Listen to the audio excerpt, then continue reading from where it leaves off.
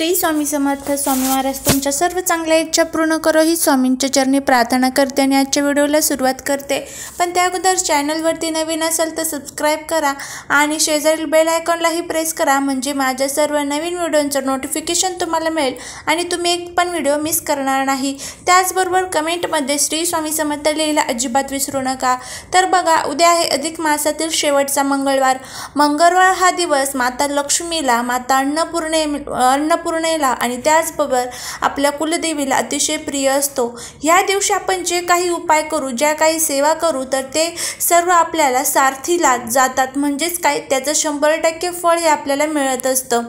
तर आता आपल्याला आपल्याला अन्नपूर्णा देवीला ही एक वस्तू अर्पण करायची आहे. यामुळे आपली इच्छापूर्ती नक्कीच होईल. आपल्या मनामध्ये भरपूर अशा इच्छा असतात पण त्या पूर्णत्वात जात नाही.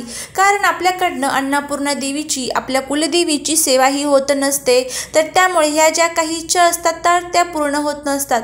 तर हा जो उपाय मी आजचा तुमच्याबरोबर शेअर करणार आहे तुमच्या घरा जर मध्ये जर माता अन्नपूर्णेची मूर्ती असेल तर त्यावरतीही तुम्ही करू शकता. त्याचबरोबर आपल्या कुल देवीची जर जर टाक असेल जर फोटो असेल जर मूर्ती असेल तर त्यावरतीही तुम्ही हा उपाय करू शकतात. अतिशय प्रभावी असा हा उपाय आहे. या उपायामुळे आपल्या पतीची आपल्या मुलांची आपल्या घराची प्रगती ही नक्कीच होईल आणि त्याचबरोबर आपल्या घरामध्ये पैशाची वाढ होईल. कारण आपण म्हणतो की आम्ही ना भरपूर काम हातामध्ये घेतो पण त्यामध्ये आम्हाला शंभर टक्के यशही मिळत नाही. आमचं कोणतंच काम हे सफल होत नाही किंवा पूर्णत्वात जात नाही.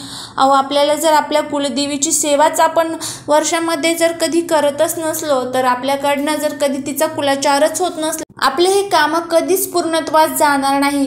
आपल्याकडनं आपल्या कुलदेवीचा कुलाचार हा झालाच पाहिजे. त्याचबरोबर आपल्या घरामध्ये जी अन्नपूर्णा माता असते तर तिचाही आपल्याकडनं मान सन्मान हा झालाच पाहिजे. तर बघा उद्या मंगळवार आहे तर मंगळवारी आपल्याला आपल्या कुलदेवीचा जर टाक असेल तर टाकावरती कुंकुमार्चन करा. टाक नसेल तर मग एक काम करा सुपारी ठेवा आणि त्या सुपारीवरती कुलदेवीच्या नावाने तुम्ही कुंकुमार्चन करू शकता. कुंकुमार्चन करत असताना ओम आयम ह्रीम क्लीम चामुंडावीचे या मंत्राचा जप करायचा आहे आणि त्याचबरोबर अन्नपूर्णा देवीची जर मूर्ती असेल तर तिच्या मूर्तीवरतीही आपल्याला कुंकुमार्चन करायचं आहे. तर ते करत असताना आपल्याला ओम आयम ह्रीम क्लीम चामुंडावीचे या मंत्राचा जप करत आपल्याला कुंकुमार्चन करायचं आहे. काही लोकांना त्यांच्या कुलदेवी ही माहीत नसते. आपली कुलदेवी जी असते तर ते आपल्या कुलाचा कुलाचार करत असते. म्हणजेच काय? आपल्या कुळाचं ते रक्षण करत असते. तर त्यामुळे आपल्या कुलदेवीची आपल्याकडनं सेवा ही झालीच पाहिजे.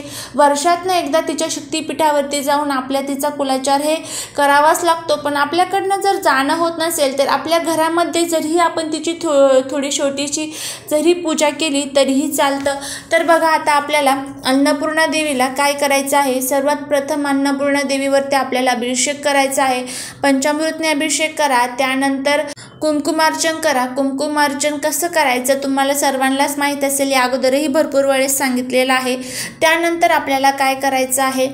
तीन लवंग घ्यायचे आहेत तीन वेलची घ्यायच्या आहेत ते आपल्याला आपल्या उजव्या हातामध्ये धरायचे आहेत आणि उजव्या हातामध्ये धरल्यानंतर आपल्याला महालक्ष्मी अष्टकमचं पठण करायचं आहे. सोळा वेळेस महालक्ष्मी अष्टकमचं पठण करायचं आहे आणि त्यानंतर आपल्याला हे जे आपण लवंग आणि वेलची उजव्या हातामध्ये धरलेलं होतं तर ते आपल्याला अन्नपूर्णा देवीला अर्पण करायचं आहे. अन्नपूर्णा देवीला आपल्याला खिरीचा नैवेद्य दाखवायचा आहे. तो खिरीचा नैवेद्य आपल्याला अन्नपूर्णा देवीला अर्पण करायचं आहे. आणि हे जे लवंग आणि वेलचे आपण ठेवलेले आहेत तर ते आपल्याला रात्रभर तसेच ठेवायचं आहे अन्नपूर्णा देवीसमोर आणि दुसऱ्या दिवशी सकाळी आपल्याला ते तिथून उचलायचे आहे. आणि त्यानंतर ते लवंग आणि वेलची आपल्या घरातील प्रत्येक व्यक्तीला आपल्याला ते छोटे छोटा भाग करून प्रत्येक व्यक्तीला आपल्याला खाण्यासाठी प्रसाद म्हणून द्यायचा आहे. यामुळे आपल्या कामामध्ये खूप मोठ्या प्रमाणामध्ये यश प्राप्ती होते. आपल्या घरामध्ये कधीच मोठ्या प्रमाणामध्ये संकट हे येत नाही अडचणी ह्या येत नाही. अडचणी जरी आल्या तर त्या दूर होतात. कारण आपण हे जे काही उपाय केलेले असतात ना त्याचं कधी ना कधी आणि कुठे ना कुठे फळ हे आपल्याला शंभर टक्के मिळत असतं. उपायांचं फळ हे आपल्याला चोवीस तासात अठ्ठेचाळीस तासात हे कधीच मिळत नसतं. आपण जे काही उपाय करतो तर त्याचं जे फळ असतं तर ते आपल्याला थोडंसं लेट मिळतं पण नक्कीच मिळतं. तर त्यामुळे हे जे काही उपाय आहे मी सांगत असते तर ते कर करत चला. नक्की तुम्हाला याचा कधी ना कधी अनुभव हा आल्याशिवाय हा राहणारच नाही. आणि हे जे उपाय असतात ना तर त्याला आपल्याला कोणत्याही प्रकारचा खर्च हा लागत नाही. आपल्या घरामध्येच प्रत्येक सामान असतं. आपल्या सौभाग्यामध्ये जर कधी आपलं सौभाग्य आपल्यापासून दूर जाऊ नये आपलं सौभाग्य अखंड राहावं असं जर वाटत असेल तर उद्या आपल्या जी अन्नपूर्णा माता आहे तर तिला तुम्ही ओटी तिची भरू शकता. म्हणजे एखादा पीस ठेवायचा त्यामध्ये थोड्याशा हिरव्या बांगड्या ठेवायच्या पाच ते सहा. त्यानंतर त्यावरती थोडेसे तांदूळ टाकायचे. एखादा जर तुमच्याकडे हळकुंड असेल तर हळकुंड ठेवा खोबरा ठेवा.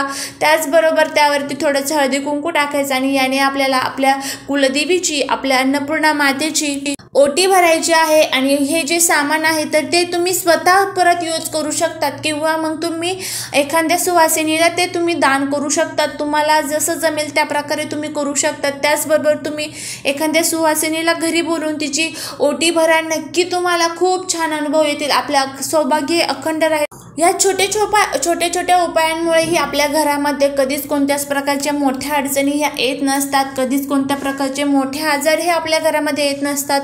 आपल्या घरामध्ये भरपूर पैसा येतो पण तो पैसा टिकत नाही. तर हे उपाय जर तुम्ही केले ना नक्कीच तुमच्या घरामध्ये जी काही लक्ष्मी माता येते तर ती स्थिर होईल. उद्या दिवसभरामध्ये उद्या रात्री तुम्हाला ज्यावेळेस शक्य होईल त्यावेळेस तुम्ही हा उपाय करा. शंभर टक्के तुम्हाला ह्या उपायांचा रिझल्ट हा आल्याशिवाय राहणार नाही. तर चला झालेली सेवा ही महाराजांच्या चरणी अर्पण करते आणि व्हिडिओ इथे संपवते. श्री स्वामी समर्थ.